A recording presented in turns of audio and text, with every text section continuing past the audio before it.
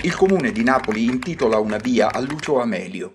La strada adiacente alla porta piccola del bosco di Capodimonte avrà da oggi il nome del celebre intellettuale napoletano che fu attore e gallerista d'arte contemporanea, protagonista di livello internazionale della vita culturale cittadina.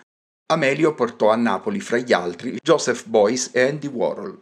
È stato un intellettuale, oltre che un grande gallerista, che ha pensato Napoli come una città mondo, che l'ha tirata fuori dalla sua rappresentazione vernacolare e l'ha fatta diventare una soglia aperta all'arte contemporanea.